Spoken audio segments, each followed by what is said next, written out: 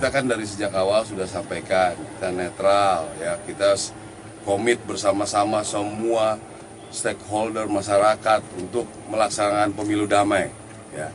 Jadi teman-teman media juga pemilu damai pemilu damai. Sudahlah kita eh, jadikan ini betul-betul pesta demokrasi. Ada laporan kita cek. Bisa nggak akan lama langsung lepas jabatan. Pas jabatan dan? Iya. Kalau tidak netral berarti. iyalah pasti Berarti menjaga netralitas. minimal itu lepas jabatan Siap. nanti ada lagi aturan-aturan hukumnya